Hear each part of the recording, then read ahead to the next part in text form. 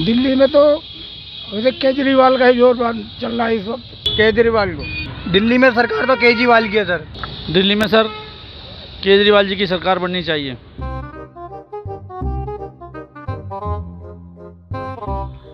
हम सरकार केजरीवाल जी की बिल्कुल भी नहीं चुनना चाहेंगे क्योंकि अगर ये सरकार आती है केजरीवाल की तो पाँच साल के लिए फिर दोबारा से कहेंगे मोदी जी मुझे काम नहीं करने दे रहे नहीं करने दे रहे।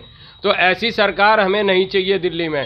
हमें चर, सरकार चाहिए मोदी जी की जो ट्रिपल इंजन के हिसाब से एमसीडी भी हमारी हो दिल्ली सरकार भी हमारी हो और केंद्र में भी हमारे काम हो तो हमें किसी चीज़ में दिल्ली में दिक्कत ना आए। और दिल्ली वाले को केजरीवाल ये ना समझे कि बिल्कुल बेवकूफ़ है दिल्ली वाले। दिल्ली वाले जब आपको सड़सठ सीटें दे सकते हैं ना दिल्ली वाले सड़सठ सीटें वापस भी ले सकते हैं। उन्होंने आपको काम के बहाने दी थी ना कि रोने के लिए ना कि ड्रामेबाजी के लिए ना धरने प्रदर्शन के लिए। तो दिल्ली वाले ये सड़सठ सीटें आपसे वापस ले सकते हैं और पूर्ण बहुमत से दिल्ली में बीजेपी की ही सरकार आएगी, हमारा पूर्ण विश्वास है। जनसंपर्क में हमने जगह जगह बात करी है, लोगों ने एक तरफा माहौल बनाया बीजेपी का।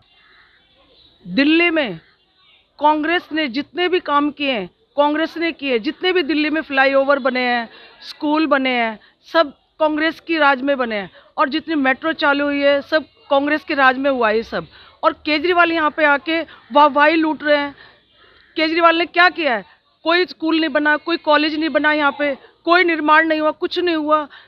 बेकार में झूठे वादे करके और वाहवाही लूट रहे हैं। ये कोई ठीक नहीं है ये कोई आ, अच्छी बात नहीं है। इतना झूठ बोलते बोलते बिजली पानी फ्री है कोई बिजली पानी फ्री नहीं है। हमारा मेरा खुद सैंतीस सौ रुपये बिल आया है एक महीने का। हॉस्पिटलों में, में इस वक्त आने वाले चुनाव में के बाद किसकी सरकार बनेगी? कांग्रेस की सरकार बनेगी। दिल्ली में कांग्रेस आएगी कांग्रेस की सरकार बनेगी क्योंकि कांग्रेस ने काम किया है। केजरीवाल ने कोई काम नहीं किया। कांग्रेस के काम पे कांग्रेस को वोट मिलेगा। कांग्रेस ने काम किया है और कांग्रेस ही आएगी कांग्रेस की सरकार बनेगी दिल्ली में।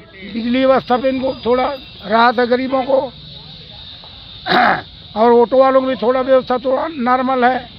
सारी चीज़ छूट कर रखा है। और देश के लिए तो भाई मोदी ही है। मुख्यमंत्री के लिए तो भाई केजरीवाल ही सही है। कारण ये काम अच्छे कर रही है वो। काम कर उनने बिजली फ्री कर दी उनने। और पानी की कोई परेशानी नहीं है। मुद्दों का इसमें तो कोई मतलब ही नहीं है फ़िलहाल तो। जो मुद्दे हैं जो उन्होंने मुद्दे बना रखे उन्होंने मुद्दे बना रखे आपस में जनता को लड़वा के।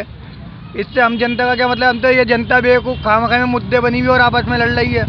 भेदभाव कॉम्प्रेस थी ये तो फैला रखी है यहाँ पर लोगों ने। इससे फैलाने तो कोई फ़ायदा ये तो हमारे ऊपर बात है हम आपस में एकता रखना चाहें, रहना चाहें। एक मिनट में अपना भी मॉल बिगाड़ लें, अपना भी बना लें इस मॉल को। हम हिंदुस्तानी एक जगह रहते हैं, सब कौम परस्ती वाली बात ही नहीं है इसमें। ये तो कौम परस्ती बना रहे हैं यहाँ पर। आपस में लड़वाना चाह रहे हैं। एक दूसरा मरे, इससे कोई फ़ायदा है इनके, इस चीज़ से तो नेताओं का फ़ायदा आपस में पब्लिक मरेगी। विकास हुआ है, उसमें देंगे। जो काम किया है, पार्टी ने, जिस पार्टी ने किया उसको उसको मैं कोई मुद्दा नहीं मानता। वो कोई मुद्दा नहीं है, लेकिन ये है कि हमारे हिसाब से जो सरकार काम कर रही है, उसको वोट देना। दिल्ली में जो काम करेगा, उसकी होनी चाहिए। काम तो वैसे दिल्ली के अंदर तो केजरीवाल ने किया है, और केंद्र के अंदर मोदी सरकार ने किया है। मेरे हिसाब से जहाँ तक उम्मीद है कि केजरीवाल काम किया है, उसके हिसाब से केजरीवाल ही सरकार होनी चाहिए। सर, देखिए, हमारी पार्टी तो भारतीय जनता पार्टी है। शुरू से हम बीजेपी के साथ रहे हैं, क्योंकि मोदी जी का साथ, सबका साथ, सबका विकास जो नारा चल रहा है, क्योंकि स्टार्टिंग से ही ऑल इंडिया को लेके मोदी जी ने बहुत कुछ कराया देश के लिए। और हम चाहते हैं कि हमारे क्षेत्र से जो विधायिका जो खड़ी हुई हैं, श्रीमती स्वर्गीय सुनील कुमार वैद्य जी की धर्मपत्नी, श्रीमती किरण वैद्य जी। हम उनके साथ हैं सपोर्टर हैं उनके बीजेपी से, जो कार्य है। इस टाइम हमारे भाई साहब ने किस टाइम पे किया था? क्षेत्र के अंदर। अभी हम बीजेपी के साथ में वो काम अभी साथ करना चाहते हैं।